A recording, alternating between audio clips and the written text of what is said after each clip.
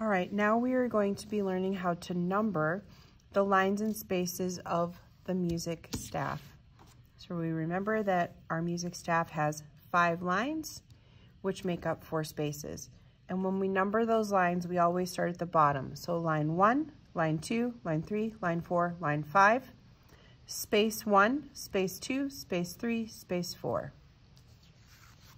Now, as a reminder, on our theory paper, Neatness matters.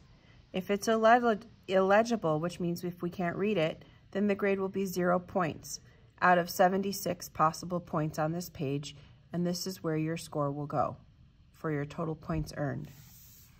Up here at the top, it does say first and last name. So you need to be writing in your first and last name.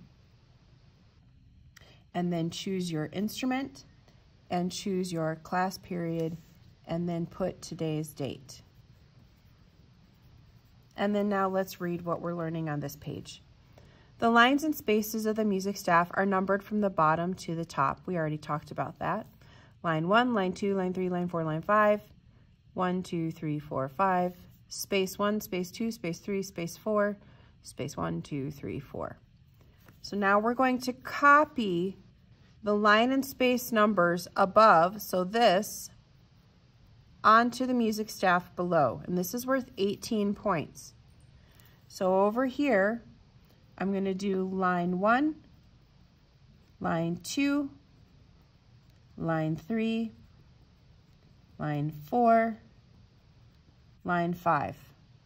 And then here, I'm going to number just like this. So 1, 2, 3, four, five.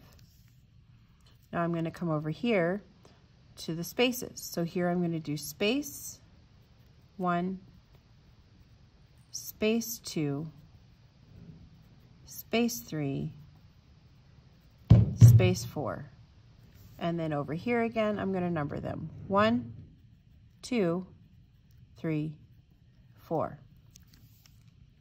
Now, number six says Again, copy the line and space numbers above, and they mean this, onto the music staff below. This is also worth 18 points. So you're going to do the same thing here that you did on this one. And then number seven is, for a third time, copy the line and space numbers above. And again, these line and space numbers are this up here, okay? Onto the music staff below. This is also worth 18 points.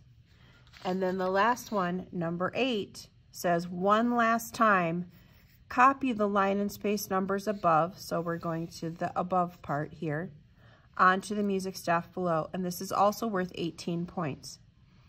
So five, six, seven, and eight should all look like the example up at the top.